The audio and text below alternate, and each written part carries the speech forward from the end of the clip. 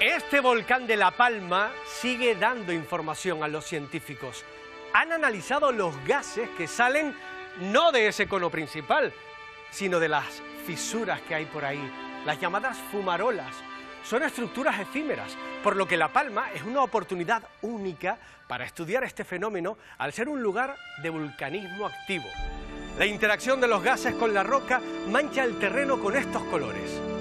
En las zonas fumarolianas más cercanas al cono predomina el color blanquecino, mientras que en las cercanas al edificio volcánico tienden a colores amarillentos, anaranjados.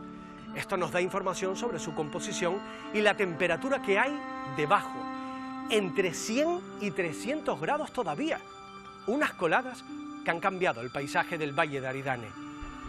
Pero no nos olvidamos que debajo quedaron las ilusiones y el trabajo de miles de palmeros. El consorcio de seguros informa que ha resuelto ya el 98% de las peticiones de indemnización y siguen recibiendo demandas a diario.